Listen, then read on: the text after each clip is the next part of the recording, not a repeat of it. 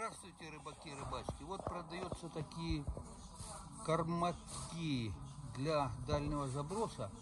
Видите, вот они стоят, стоили 44, а сейчас сделали 39 гривен. Но это недорого. Смотрите, вот сюда забрасывается каша, привяз, закрывается потом, забрасывается. И она должна, когда опускается в воду, удариться и открыться. Но это не всегда так бывает. Бывает, что не открывается.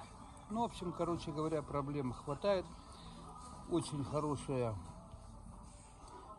снасть для прикормки на дальней дистанции. Но я вам покажу, как сделать элементарную за копейку своими руками. Спасибо. Еще моя будет работать безотказно. Увидите. И вот, ребята, сказав А, говорю Б. Вот это моя снасть для дальней прикормки рыбы. Берете, находите подобную, есть они разного размера, разные фирмы делают. Для кефира вот такие вот бутылочки продаются. Именно с такой ручкой надо брать. Почему? Потому что к такой ручке мы прикреп, прикрепим вот э, кусочек свинца на проволоке. Видите?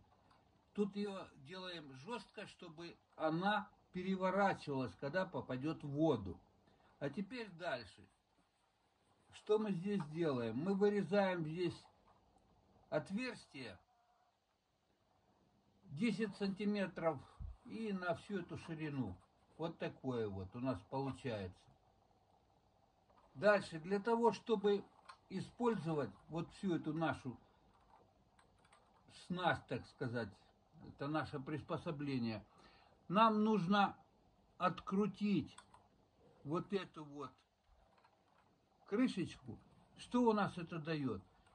Когда мы ее будем тянуть, воздух, то есть вода, извините, проходит и выдавливает. Сюда мы загружаем кашу, пшеницу вареную, ну, всякие другие прикормки, на которые вы собираетесь приманить рыбу. И вот такая вот у нас штуковина получается. Теперь я вам сейчас покажу на примере, не буду сюда кашу кидать, не собираюсь идти на рыбалку. И просто вам покажу, как она будет работать в воде, и сам принцип, чтобы вы поняли. Для этого я сюда, вот сейчас я просто закрою крышечкой так, и сюда вместо каши я, ребята, загружу вот орешки. Орешки. Вот так вот я сюда их просто покидаю. Это считайте, что я прикормку сюда кидаю. Вот так вот, вот я это дело заполняю все. И потом покажу. И вот, ребята, вот так у нас получается наш кормак, заполненный прикормочной кашей. Или пшеницей, я уже говорил. И вот в таком вот выгляде он у нас есть. Теперь что нам надо делать? У нас мы можем привязать это все, вот эту вот саму головку, мы привязываем сюда простой петлей. Ой, сыпется. Сейчас покажу. Вот просто с лески мы делаем петельку. Потом соберу. Делаем петельку на конце лески. Вот сыпется, да? Вот и эту петельку надеваем на горлышко, затягиваем. Вот просто затянули. Дальше, перед забросом нашей прикорки мы обязательно откручиваем нашу крышечку. А теперь я покажу, как она будет работать в воде. Как я говорил, для заброса можете использовать спиннинг, другие приспособления. Можно сделать вот такую вот палочку-выручалочку. Здесь намотана леска, видите? И когда вы забрасываете, тут по принципу безинерционной катушки она будет работать. Вот она легко отсюда сматывается леска, просто вы забрасываете, и она вот летит. Без всякого сопротивления. Поняли? Ну и вот я вам показываю, смотрите мы забрасываем вот это дело в воду. Вот я сейчас показываю конкретно. Мы кидаем, она летит у нас и попадает в воду. Вот так переворачивается она. ваша каша начинает высыпаться.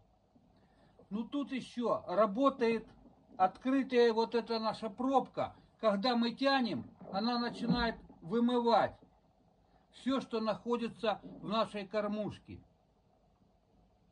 И тут шарики, видите, она не тонет. А когда тут каша, она все идет ко дну. Вот эта вот наша конструкция, она идет ко дну. А шарики плавают, и они поэтому держат. А так она идет по дну, и все вымывается, когда мы тянем. Очень простая конструкция. За копейку. Вы купили кефир, выпили кефир, взяли эту бутылочку, не выбросили, а сделали себе вот такое приспособление. Очень удобное, очень практичное. И не надо никакие там деньги тратить. Между прочим, это в Авроре дешево, а в других магазинах такая же фиговина, прикормка вот эта вот для дальнего заброса, она стоит гораздо дороже. Поэтому, ребята, спасибо за просмотр. Пользуйтесь делайте, ловите успешно рыбу и всегда будете с уловом. Спасибо за просмотр. До встречи в эфире.